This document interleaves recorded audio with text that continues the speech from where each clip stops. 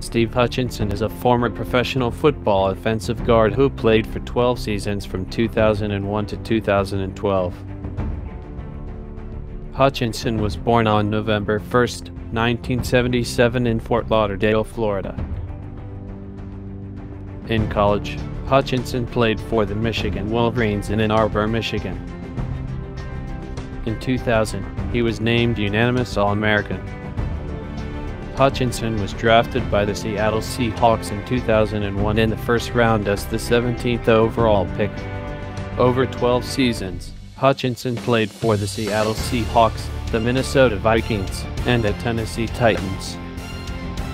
He was named first team All Pro five times, was named second team All Pro two times, and was a seven time Pro Bowler. His first team was the Seattle Seahawks from 2001 to 2005.